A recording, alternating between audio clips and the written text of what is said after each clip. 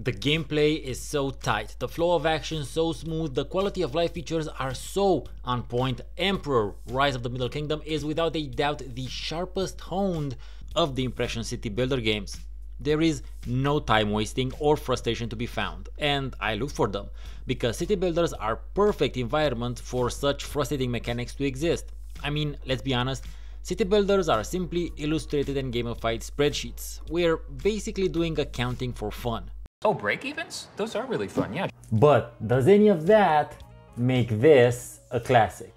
Let's start with the tutorial, which is possibly the best of the entire series. It not only illustrates each and every step with image examples and describes why it is necessary, but it also goes into detail and offers some troubleshooting for possible issues you may have during the process in case you haven't followed the illustrated examples. I know Zeus and Pharaoh had similar tutorials, but I can't put my finger on why Emperors felt the smoothest. It might turn out to be some subtle difference in approach, or it might be that after playing all of the Impressions games in order, I've accrued some sort of institutional knowledge which made it all considerably easier to absorb. Even though I enjoyed Zeus and Poseidon quite a lot, for whatever reason, Emperor is much more visually pleasing, or at least much more pleasing to my eye. This might have to do with the realistic design of buildings and color palette. I appreciated the exaggerated cartoony look of Zeus, but ancient China is simply easier on the eye than ancient Greece is. This might be simply a subjective thing, but I much prefer it. By the way, the footage you see in this video is recorded using a high-res mod. The game is still pretty to look at in its original resolution, however, it will most likely be stretched because we tend to have exclusively wide screens nowadays. So just like with all the past Impression City builders, seek out the high-res mod to get these visual results. And since I tend to spotlight certain fun or funny citizen animations, Emperor also has a couple of interesting ones. The first one would be the tax collector, who is literally flipping a coin in the air. That's all the dude does. But the acupuncturist is the one that takes the cake and I'm not gonna do it the disservice of describing it, I'll just let the animation loop run for the length of this entire phrase. Playing the game truly does make it seem like the developers were pulling on the experience and gameplay choices from the past titles. Emperor taking all the best features and ideas from the previous titles and dressing them up in the theme of ancient China. Other than the visual aesthetics, there are several other gameplay particularities that are part of the Chinese theme, the ones that most jump to my mind being the hyper useful walls and the thematically appropriate feng shui mechanic. You need to use the walls in order to physically separate your neighborhoods from the production and distribution buildings that cater to them, because walls block bad desirability. It is true that this idea existed in Zeus as well, but it feels better implemented in Emperor because you can control the types of walkers that can move through the wall gate in a more granular way than you can with a roadblock. Likewise, the idea of walls and China tend to work very well together as far as general popular awareness goes. Be they the traditional brick and mortar or fire variety. Also, you get four different colors of walls, each of them with their own type of gate, my favorite being the grey gate, I don't think the color of the walls influences feng shui, but it might.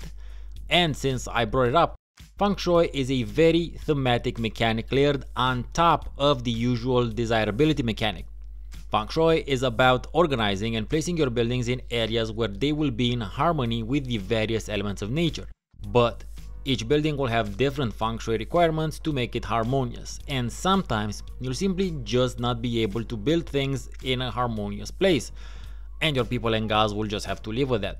It is really important however to do your best and place as many buildings in places with good feng shui, because the lower your city's rating will mean your population will be less happy and your sacrifices to the gods will be less efficient as well.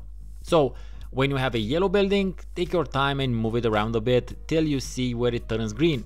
In some cases, it won't turn green because its requirements aren't met anywhere and sometimes it will turn green in a very inefficient spot. The buildings you will have the most problems with will be the warehouses, since you need warehouses at every level of the game.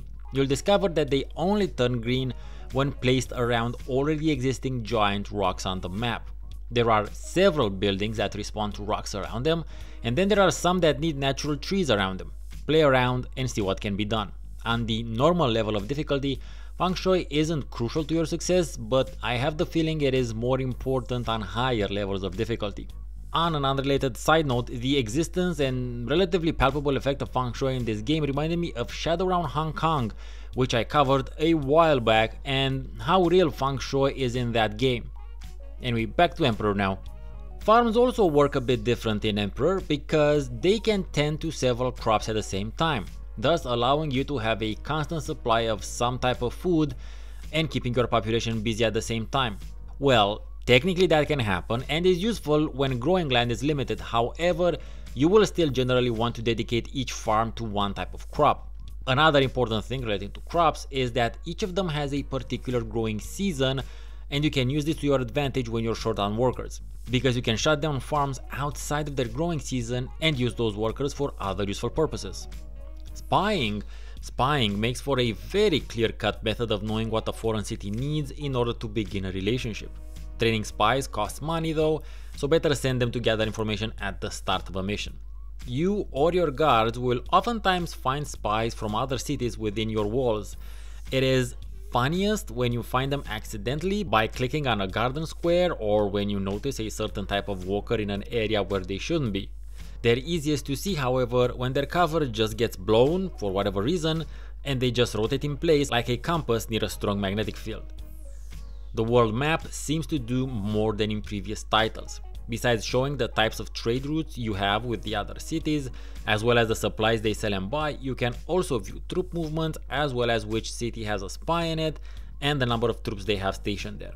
I need to mention how you cannot use the map when employing the high resolution mod, but somehow, thankfully, the buttons on the UI work and you can choose through the various cities using the buttons. It's a wonderful example of how maybe sometimes it's good to have several ways of doing the same thing in a video game. Emperor Rise of the Middle Kingdom also introduced a multiplayer option for the first time in the city builder games and that is the one feature I did not test because on the one hand I'm not a big fan of playing with people I don't know and on the other hand I doubt the servers are still live 20 years later.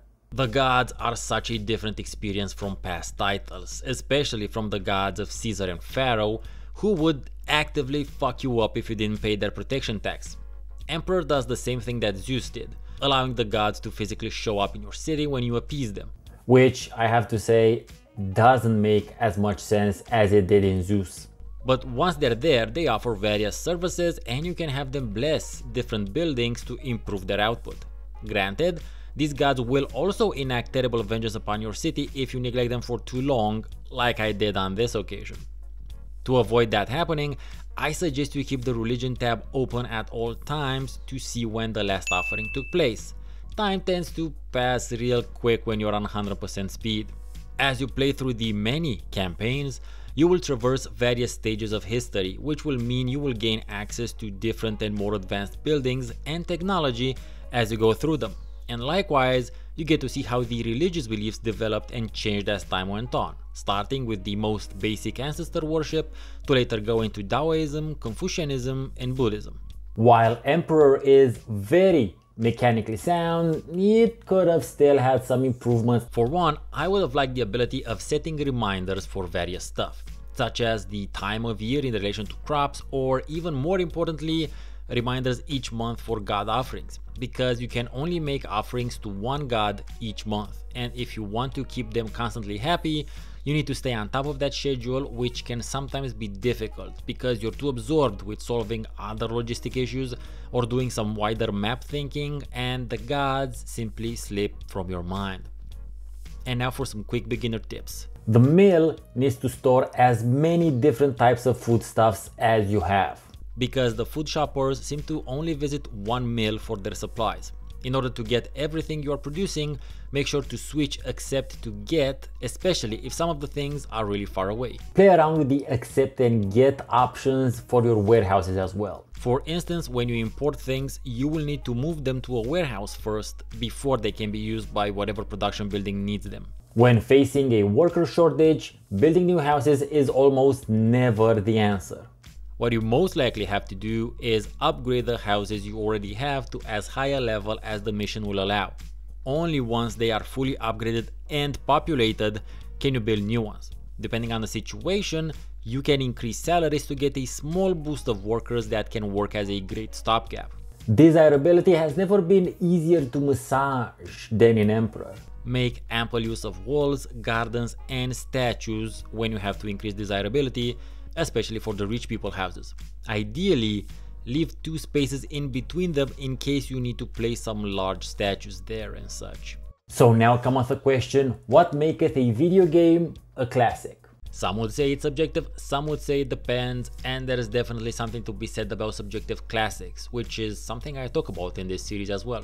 But in order for a game to be an objective classic, it has to be considered to be good over a period of time, has to be remembered as such, and also it has to stand up to current day scrutiny. And I also consider that 10 years is the minimum period required for such a hindsight based judgment to take place. In this case, it's been 20, so we're fine in that respect.